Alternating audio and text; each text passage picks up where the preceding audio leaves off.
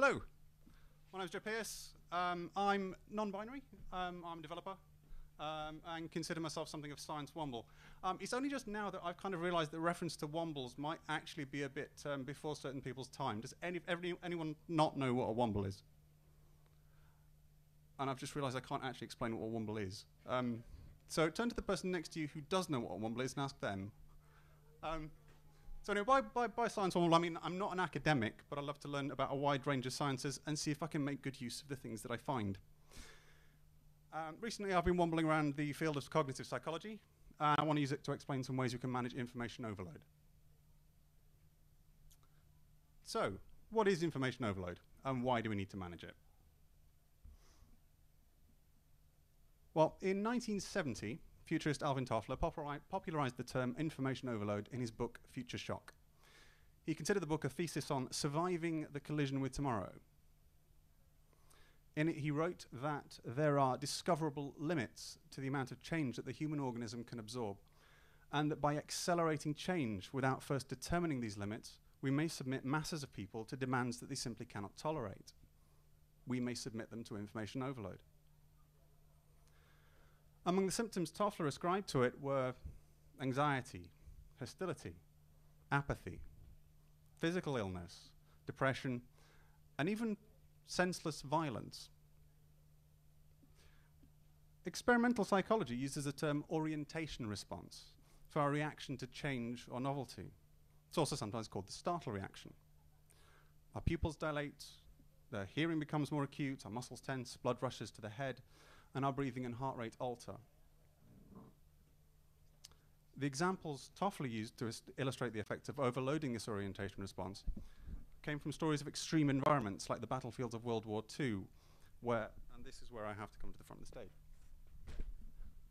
where a soldier falls asleep while a storm of machine gun bullets splattered around him, not due to physical tiredness, but a sense of overpowering apathy.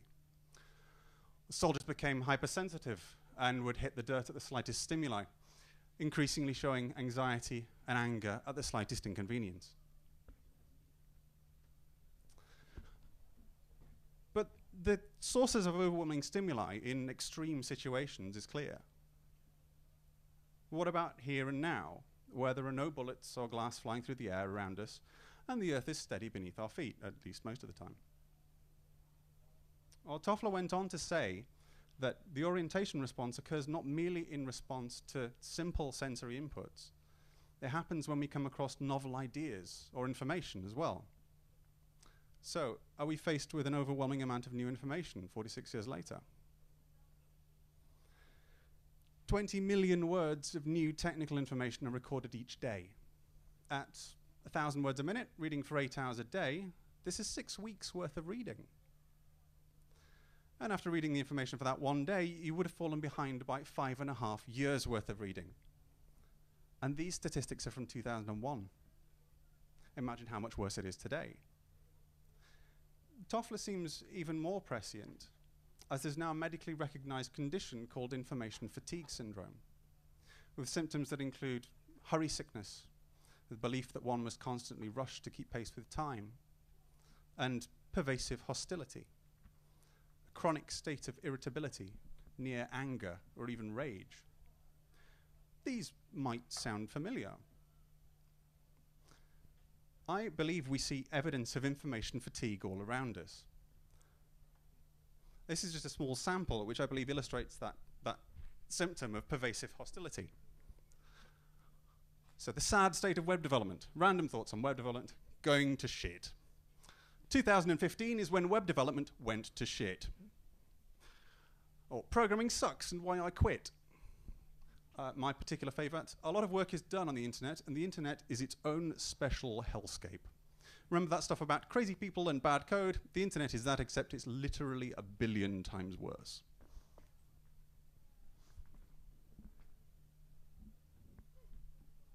And take a look at how many tech blog writers use the word rant in the blog title. So, how might we, as well, I'm assuming there are some developers in the audience, Hoping? Yes? Woohoo! Excellent. Um, how might we, as developers, be overloading ourselves?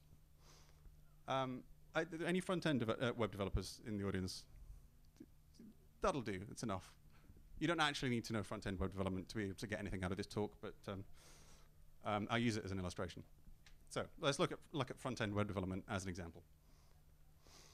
There has been a huge growth in the number of frameworks and tools.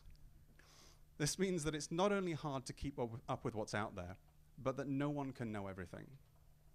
If you ever work on a project with multiple unfamiliar tools and frameworks, information overload is a risk. So development is always going to be a learning process because there's always a lot to learn. Perhaps that means we can manage information overload by managing how we learn. So it helps to understand a little about how we learn in order to hack the process. The two partners of human learning are our working memory and our long-term memory. Working memory is where we process information. It's the site of our active, conscious thinking and learning processes and comprises visual and auditory subcomponents. Uh, there's actually another sub subcomponent called the proprioception, which is a sense of where your body actually is at all times, but that's less useful to leverage for learning, at least non-physical things. Um, Long-term memory has enormous capacity, but cannot engage in conscious thinking or learning processes. So they work together. Learning takes place in working memory, and the results are stored in long-term memory. I want to briefly outline three of the main processes we can hack to alter the way we learn. Attention, elaboration rehearsal, and encoding. Attention is critical to processing information. To illustrate how critical, in 1972, an Eastern Airlines flight crashed as a result of cockpit distractions. The crew became so preoccupied with a malfunction that no one noticed the altimeter reading or warnings until it was too late. We can help focus attention with cues and signals. For example, bullet points, paragraphs and headings, visual indicators like really big red arrows, and signaling language such as saying, it is important to note that. We can also help focus attention by leveraging both the visual and auditory components of the working memory at once, as I've done here, potentially badly, I don't know, by giving you a diagram to focus on visually while I describe what it represents. And this is called the modality effect, using both modes, audio, auditory and, and visual. Elaboration rehearsal helps promote something called automaticity. Uh, this is a mechanism that allows us to largely bypass, uh, bypass working memory Skills that are repeated often enough become established in long-term memory and can subsequently be performed with little or no working memory resources, such as writing, reading, and speaking. When we encode information, we create what are called schemas. These are memory structures that allow us to treat a large number of information elements as though they are a single element. And we have schemas for everything. For example, while all trees are different and include an enormous amount of sensory information, the shape of the tree, the color of the leaves, you know, the, the, the size of the tree, the smell of the tree even, we instantly recognize a tree because we have a schema for, for trees. Schemas are constructed additively, so for a novice learner, every new thing is unconnected and must be managed separately. But as we gain experience, we form connections between the bits of information in our head, allowing us to treat these collections as single schemas. But there are limits to our ability to learn. Back in 1956, cognitive psychologist George A. Miller wrote a paper highlighting these limits on our ability to process information. You may have come across Miller's law, the magical number 7 plus or minus 2. Miller's paper suggested that there's a definable limit on the amount of information that we can usefully process it, uh, at any one time. And when that limit is exceeded, information overload leads to our learning becoming inefficient, if it even remain remains working at all. Some web designers have used Miller's Law as justification for only putting seven things or fewer on a page. Uh, this is a misinterpretation. It wasn't the number of things that was the important result, but the fact that there was always a limit. We now equate the things themselves to the schemas I mentioned earlier. Someone with experience who has more connected schemas will be able to handle more complex information in working memory at once. So, how do we use the result of Miller's research? Well, in the late 1980s, John Sweller, an Australian educational psychologist, asked what we can do to learn more efficiently given the limitations that Miller wrote about. And he published a paper in, in this, um, this journal here. His research led to something called cognitive load theory. So, what is cognitive load theory? Well, very simply, it defines cognitive load as the total amount of mental effort being used in the working memory and describes a universal set of evidence based principles for managing that cognitive load that lead to more efficient learning. So I can give you a brief overview of the core concepts. Total cognitive load is comprised of three types. Intrinsic load, extraneous or irrelevant load, and germane or relevant load. Intrinsic load is imposed by the complexity of the task being performed. For example, learning to juggle with 10 balls is more complex than learning with three. And we can only reduce intrinsic load by juggling fewer balls.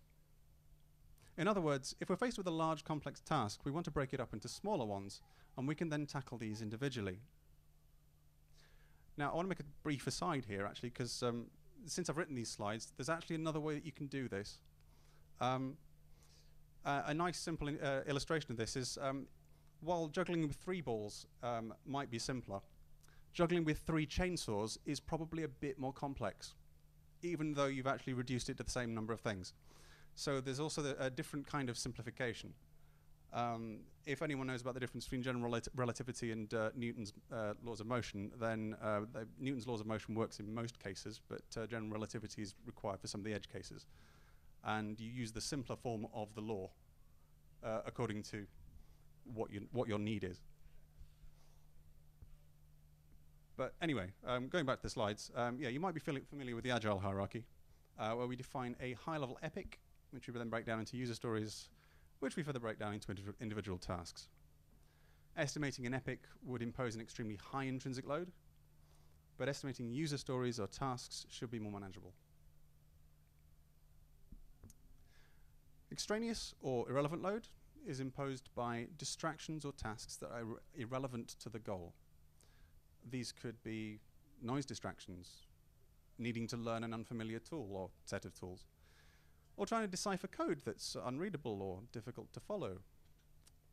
To manage a relevant load, we could try working in a quieter environment, or wearing headphones, or there are certain cases where that doesn't actually work. But anyway, that's a, that's a big aside. Um, or try reducing the number of tools or libraries we use to a minimum. There's uh, a growing movement originating from Keith Cirkel to use npm script alone for front-end task running, which won't mean a lot to actually who anyone who in the audience who isn't actually a front-end web developer. Um, but then we can eliminate uh, tools called Grunt, Gulp, and Webpack, which would be great. Um, make sure that the code we write is readable. Never forget that the person unable to decipher your code might be future you. We can do this by using better cues and signals in our code. Um, it might not be me. I'm sorry that this is an example in JavaScript. I'm really, really sorry. Um, but uh, it's it's it, it's actually from the Angular um, uh, source code, if that means anything. But um, um, I, yeah, I couldn't I couldn't quite uh, contemplate writing a terrible bit of code from uh, uh, myself. Um, so yeah, it might not be immediately obvious that this function does two distinct tasks. There's the null check uh, and the actual work itself. Um, but by adding a bit of appropriate white space and line breaks, we cue the developer the information that there are two distinct tasks here. Uh, comments are also important to use wisely, as Jeff Atwood succinctly puts it. Code tells you how, comments tell you why. Don't let anyone suggest to you that good code should be self commenting because it's complete nonsense. Good comments signal that all is not as straightforward as it might appear. This reduces the load on anyone trying to maintain your code. If you've ever spent more time than expected wondering why a section of code doesn't do what it looks like it should do, then you may understand what I mean. Consistency is also important to reduce load.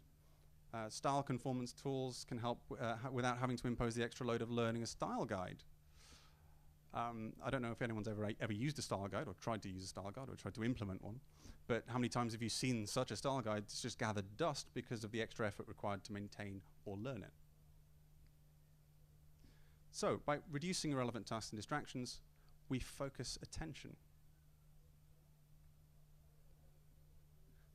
Lastly, germane or relevant load is a beneficial load imposed by tasks that are relevant to an overall goal. Helps us to connect bits of information and form more complex schemas. Repetition and context variation give us the skills to apply knowledge in a wider variety of situations. By repetition, I mean practice. Schemas need reinforcing with repeated recall and usage. This makes them easier for the working memory to retrieve and process. You can vary the context by seeking out multiple sources of information. There is no such thing as the definitive tree. It might be that only after seeing something expressed in five different contexts are you able to confidently recognize it yourself in a sixth. So how about a di different context? This might be easier to understand if I give another example say the goal of a developer is to better understand an existing code base. This might include understanding the framework that has been used, particularly if it's uh, nuanced. Uh, we might assist that goal by varying the areas of the code base that they're assigned to work on until they can confidently develop a feature from scratch. We can also develop more flexible schemas through pairing. It can help us discover varied approaches and methods that we haven't yet encoded with our, within our own schemas. This can also leverage both subcomponents of the working memory, auditory and visual, particularly if you have one person visually examining the code while another explains what it's doing. So, germane or relevant load helps us elaborate and rehearse schemas, encode new information, and hopefully promote automaticity. So, to sum up, we constantly need to learn. Cognitive psychology can tell us how we learn, but it also tells us there are limits to our ability to learn. Cognitive load theory can help us work within those limits, giving us a set of guiding evidence-based principles. If we manage intrinsic load by breaking large tasks into smaller ones, reduce extraneous load by eliminating irrelevant tasks and distractions, and increase relevant load with appropriate repetition and varied learning context, we promote efficient learning, improve productivity, and escape the horrors of information overload. Thanks. Any questions?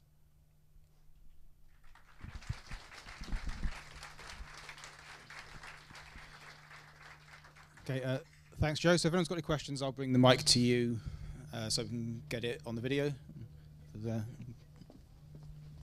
Keep your hand up.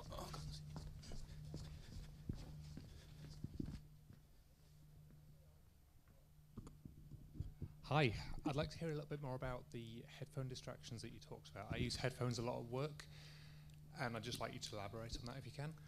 Um, yeah, there's um, there's actually a really nice article that I, I, I sort of retweeted uh, earlier last week or the week before, um, which goes into a lot of detail about this. Um, basically saying that if you're trying to learn something completely new, um, auditory distractions of any kind uh, are bad.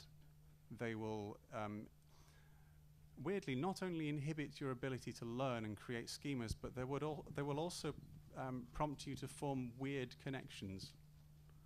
Um, it didn't go in, in depth into what the weird connections were, but um, I, I, think it means that you sort of you, you, construct the schema in a very sort of cluttered manner.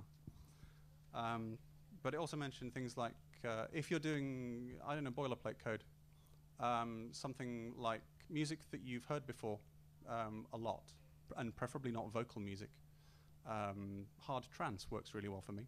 um, uh, works works quite well because especially well if if you're in a, a an open plan uh, office, um, if you're sitting somewhere like home where you actually don't have any noise distractions, then no uh, no nothing on your headphones on no noise at all is better.